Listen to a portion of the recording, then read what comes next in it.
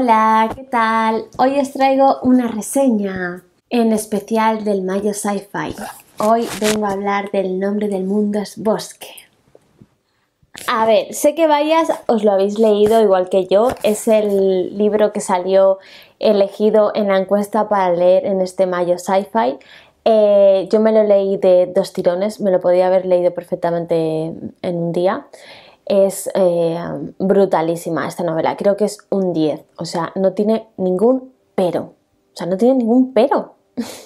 Esta novela fue escrita por Úrsula K.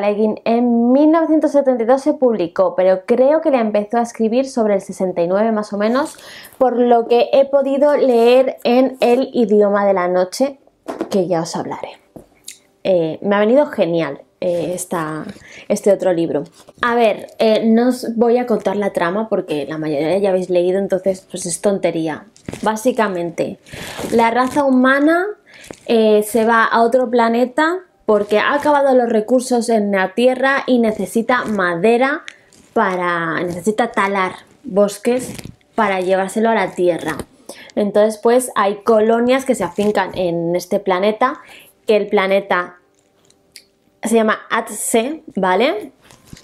Y entonces pues básicamente esta novela es una metáfora brutal, una crítica brutal al colonialismo, a la deforestación, al excesivo consumo de recursos naturales, al racismo, al ver inferiores a otras razas, a otras personas semejantes simplemente por ser de otro lugar o eh, tener características diferentes a nosotros, bueno, es una brutalidad. Esta novela la escribió Úrsula K.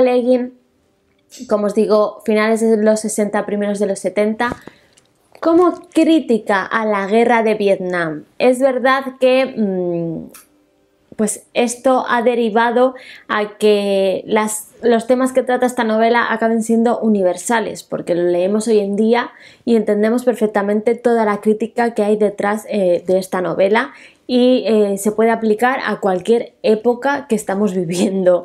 O sea, es mm, un tema universal porque nunca van a acabar estas injusticias por desgracia. Espero que algún día acaben, pero de momento seguimos igual.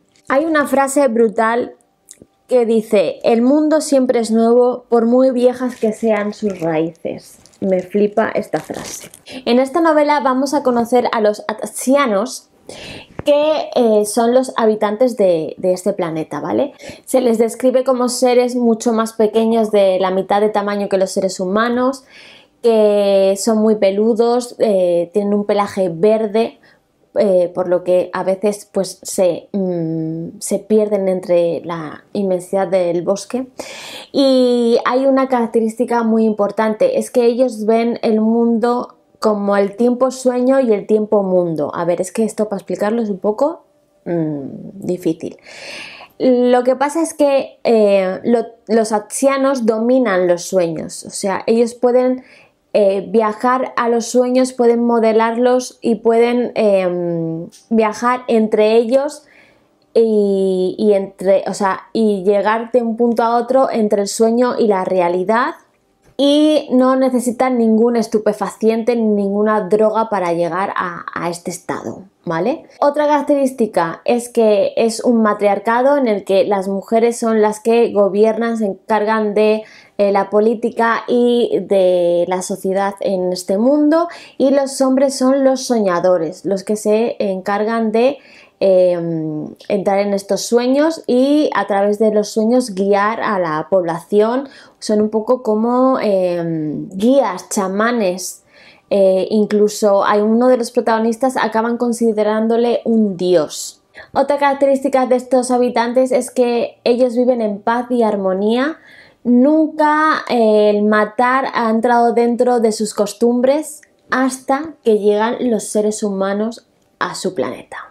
Una cosa muy interesante que hace Ursula K. en esta novela es em, describirnos estas dos partes, ¿no? Eh, bueno, se podría decir que hay como tres, ¿no? Está el ser humano em, despreciable, yo lo veo así, o sea, el ser humano con sus características, ¿no? El ser humano medio, el habitante de, este planeta medio y después está el ser humano que no tiene los ideales del ser humano y em, se interesa mucho por los habitantes de este planeta.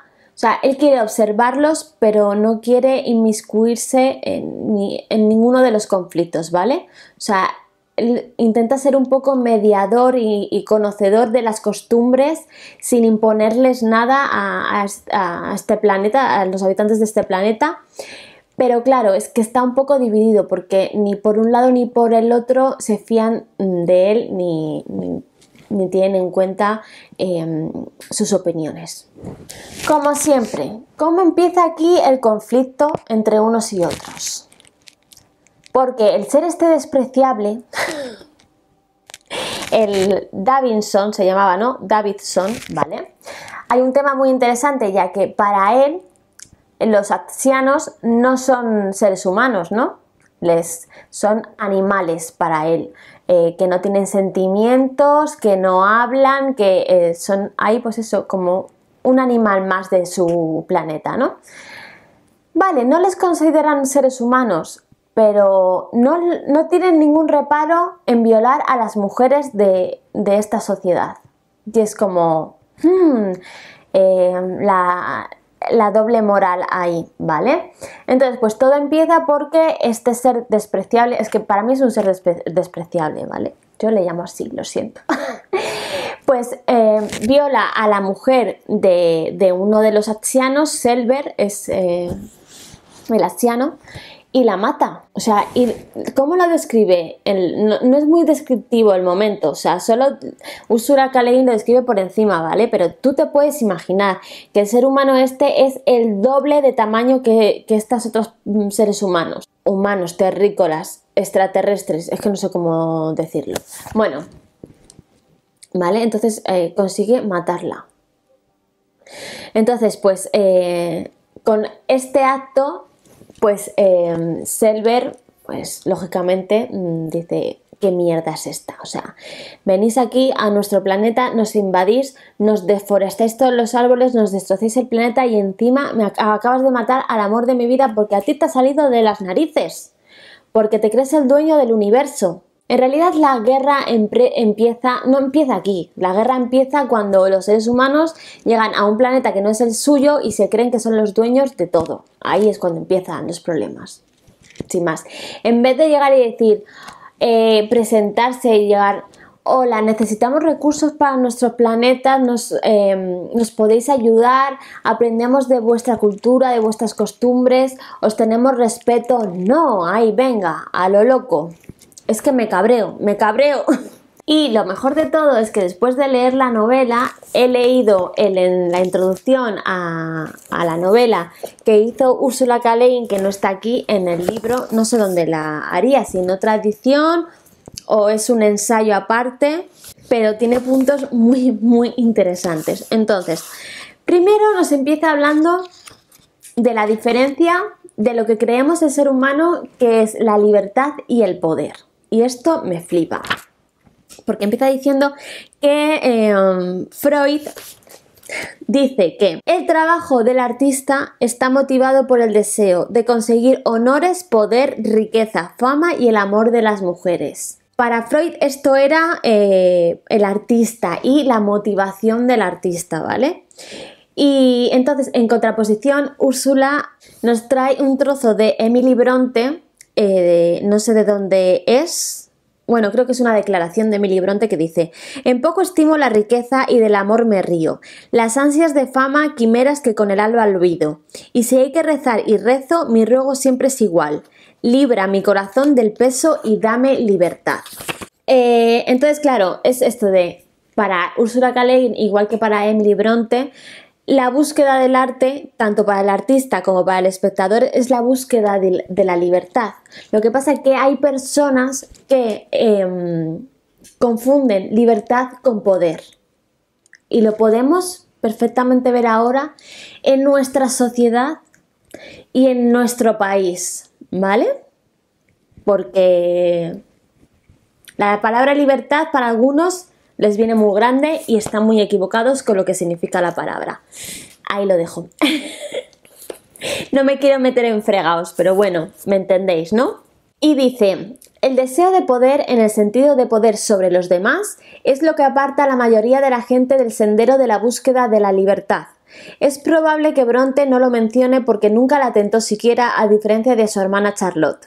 A Emily le importaban un comino los principios morales de los otros, pero muchos artistas, sobre todo artistas de la palabra, que deben exponer por fuerza sus ideas en sus obras, sucumben a la tentación. Ven que pueden ayudar a otras personas, se olvidan de la libertad y en vez de legislar con divina arrogancia como Dios o Shelley, empiezan a predicar. También nos habla de que, em, pues, fue a muchos, muchas protestas contra la guerra de Vietnam, estuvo en un montón de movimientos en esa época para la paz. También había movimientos contra la defoliación de los bosques, que este es otro tema muy explícito en la novela, empezaba a quedar claro que la ética que aprobaba la defoliación de bosques y sembrados y el asesinato de civiles en nombre de la paz era solo una consecuencia más de la ética que permite expoliar los recursos naturales para provecho privado y asesinar a las criaturas de la tierra en nombre de la humanidad. Dice, ni Lubov ni Selver son meras representaciones del triunfo de la virtud, al menos en esos personajes. La complejidad moral y psicológica quedó preservada, o sea, que ella al crear a los personajes, pues les creó un poco desde la distancia, ¿vale? O sea, yo expongo este tipo de personajes, no me posiciono. Aunque hable de lo que habla, ¿vale? Pero es verdad que no, no hay un discurso. No, no creo que al leer esta novela eh, tengamos la sensación de que nos está dando un discurso, como ella dice anteriormente, sobre algún tema en concreto. Simplemente nos expone los hechos y nosotros vemos claramente el problema de la situación. Y dice, sin embargo, aunque complejo, Davison es puro, pura maldad. De forma consciente no creo que existan personas puramente malvadas, pero mi inconsciente tiene otra opinión. Miró en su interior y de ahí sacó al capitán Davidson. No seré yo quien repudie al personaje. No te preocupes, ya lo repudio yo. y aquí habla exactamente de lo que os decía yo de que es una obra universal, porque dice, la obra debe sostenerse o caer sobre cualquier elemento que conserve de los anhelos que subyacen a cada ultraje y protesta específicos, sobre cualquier intento vacilante, en medio de la cólera y la desesperación, de alcanzar la justicia, el ingenio, la gracia o la libertad. Por eso creo que sirve para cualquier década y, momento y protesta. Y también nos habla de una cosa muy muy interesante y es que nos cuenta que unos años después de que El nombre del mundo es bosque se publicase en Estados Unidos, eh, pues conoció a el psicólogo Charles Start y él le dijo, qué interesante que hayas cogido la historia de los senois de Malasia para crear a, esta, a esta especie de este planeta, ¿no? Y ella se quedó como, ¿what? Mm, no, o sea, esto ha salido de mi cabeza, no lo he visto en ningún sitio. Y entonces él le contó la historia de que los Enois era un pueblo de Malasia cuya cultura incluye el uso y el entrenamiento de los sueños y de hecho se basa en los sueños de manera sustancial. Que básicamente lo que ella cuenta en la novela de la manera de sociabilizar y de, de, convivir de los atsianos, perdón, es que no me acuerdo nunca, de los atsianos, pues pasaba exactamente igual en una tribu de Malasia. Se afirma que no practican la magia, aunque dejan creer a los pueblos vecinos que sí, ya que esto los disuade de invadirlos. Parece que los Enois no han tenido guerras ni asesinatos desde hace siglos. Y ya os leo el último párrafo para rematar la reseña, esta extraña que he hecho, que en realidad mm, no me he hecho ningún esquema ni nada, simplemente he apuntado los puntos que quería hablaros y ya está. Espero que os haya resultado interesante. Dice, ahí están un grupo de 12.000 individuos que cultivan, cazan, pescan y sueñan en las selvas pluviales de las montañas de Malasia. O ahí estaban en 1935. Hasta donde sé, el reportaje de Kilson Stewart sobre ellos no tuvo continuidad. ¿Estuvieron allí siquiera? Y si es así, ¿seguirían allí? En el tiempo de la vigilia quiero decir en lo que con gran derroche de fantasía llamamos el mundo real. En el tiempo del sueño, por supuesto, están allí y aquí. Yo creía estar inventando mi propio pueblo alienígena y resulta que solo estaba describiendo a los Senois. Si uno busca en lo inconsciente, no solo puede encontrarse al capitán Davidson. El pueblo silencioso en el que nos matan unos a otros también está ahí. Parece que ahí hay un montón de cosas, las cosas que más tememos y por tanto negamos, las cosas que más necesitamos y por tanto negamos. Me pregunto si no haríamos bien en empezar a escuchar nuestros sueños y los sueños de nuestros hijos. De verdad, ya traeré otro, otro vídeo hablando sobre este libro porque me parece la Biblia. Bueno, hasta aquí la reseña. Espero que os haya gustado y que hayamos fangirleado así un poco. Contadme vuestras impresiones sobre la novela. Y además creo que esta novela se va a quedar como un imprescindible de relectura porque tengo la sensación de que cuanta más veces las lea, más mm, mensajes y significados y lecturas eh, sacaré de ella. Y aprendizaje también. Así que nada, un abrazo, adiós.